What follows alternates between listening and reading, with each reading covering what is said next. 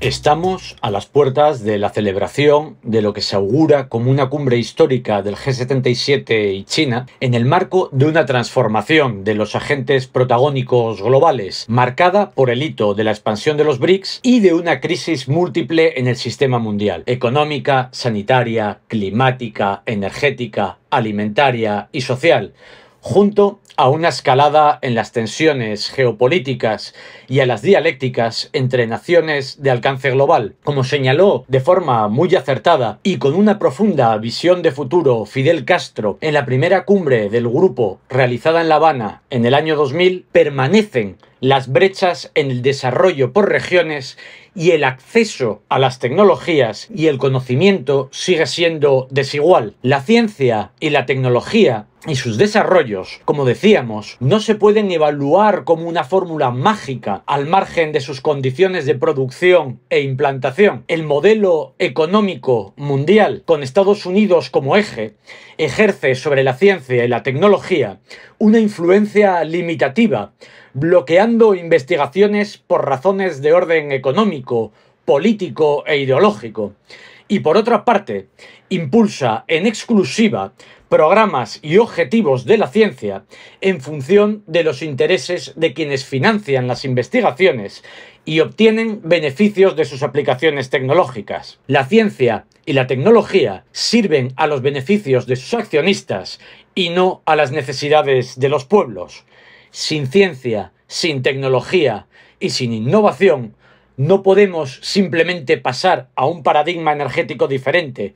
Por ejemplo, para poder cumplir nuestros compromisos en materia de lucha contra el cambio climático, apuntaba certeramente Pedro Luis Pedroso, representante permanente de Cuba ante las Naciones Unidas. Cuba asumió en enero de este año la presidencia pro tempore del Grupo de los 77 y China, siendo la primera vez que la mayor de las Antillas lidera la representación de los países en desarrollo. En este sentido, el presidente Miguel Díaz Canel señaló que Cuba espera que el espíritu de unidad y de solidaridad que dio luz al grupo de los 77 más China prevalezca sobre los intereses mezquinos de quienes pretenden mantener inamovible el injusto orden económico actual. Siempre será la hora de la unidad, pero hoy es un imperativo, la mayor de todas las urgencias, apuntaba. La cumbre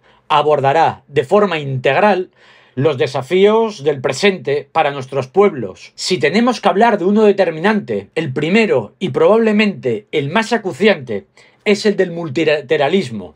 Sin la articulación de un sistema internacional multilateral firme, democrático y participativo, no habrá forma de hacer frente y dar soluciones a los desafíos y retos de nuestro presente.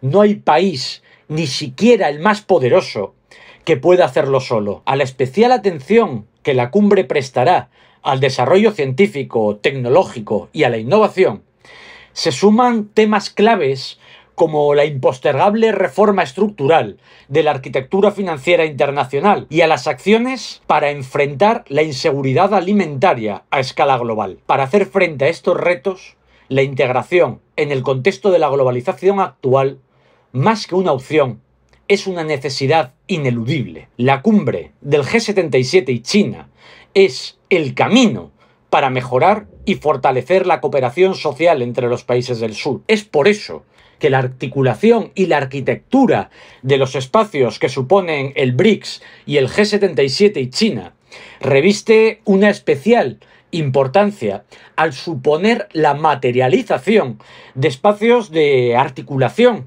de estructuras descentralizadas que reúnen a los estados que comparten visiones comunes sobre las relaciones entre las naciones del mundo, pero no solo, sino también en torno a un objetivo compartido de avanzar hacia un futuro justo y sostenible y que trabajan por dar solución a los acuciantes problemas de nuestros pueblos. La unidad no es una opción, es una urgencia, es una necesidad ineludible, pero sobre todo una oportunidad para trazar el camino hacia una transformación del mundo histórica.